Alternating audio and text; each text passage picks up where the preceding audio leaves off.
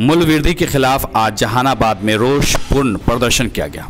Congress committee के लोगों ने थाली पीटो धरना प्रदर्शन का आयोजन किया। जहानाबाद के अरवल मोड़ से जहानाबाद प्रखंड मुख्यालय तक इन लोगों का प्रदर्शन जारी रहा। देखिए पूरी रिपोर्ट।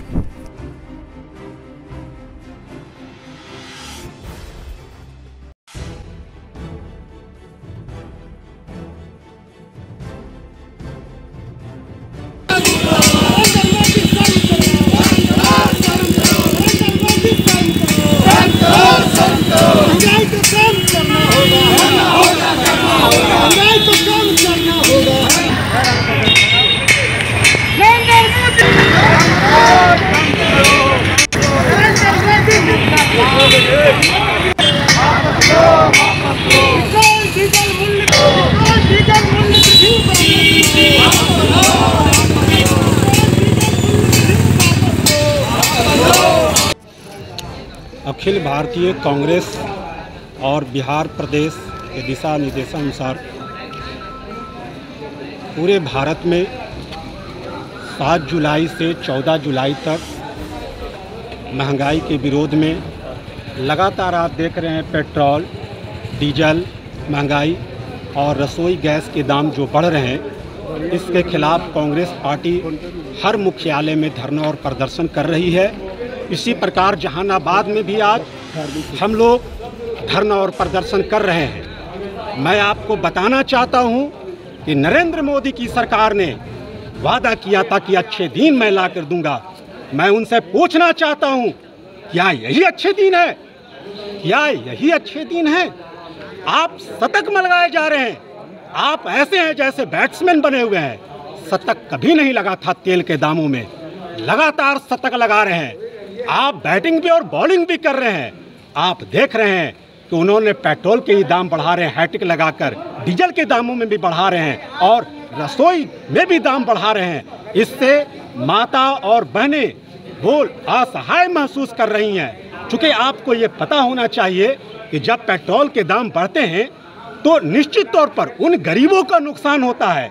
चूँकि उन्हें भाड़ा जब उन्हें लगता है पेट्रोल का दाम बढ़ता है तो निश्चित तौर पर जो बस के जो संचालक होते हैं वो भाड़ा भी बढ़ा देते हैं। जिससे बढ़ा दिए हैं। जिससे क्या होता है आम गरीब जनता को उसका नुकसान होता है उनका भरपाई करना मुश्किल होता है। मैं आपको ये भी बताना चाहता हूँ कि इस प्रकार की नीति ये नहीं चलेगा। उन्हें मूल्य वृद्धि वापस करना होगा दामों में कटौती करना होगा उनके बस में है और जब तक नहीं होगा हम लोग इसी तरह से कार्यक्रम और बाध्य करते रहेंगे। ये धरना प्रदर्शन कहाँ से शुरू हुआ है? हम लोग अरवल मोड़ से प्रखंड मुख्यालय तक यहाँ तक हम लोग धरना और प्रदर्शन कर रहे हैं। अगर मांगे पूरी नहीं होगी तो फिर ये कार्य और चलेगा। अखिल भारतीय कांग्रेस कमेटी और बिहार प्रदेश के दिशा दिशा निर्देश में जो भी आगे कार्यक्रम तय होगा हम लोग उसको निश्चित तौर पर पूरा करेंगे और संघर्ष को आगे तक जारी रखेंगे। महँगाई को कम करो।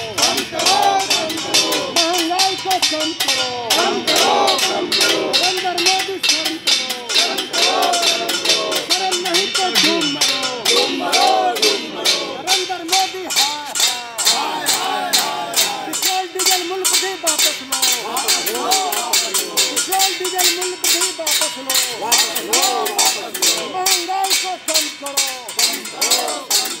महँगाई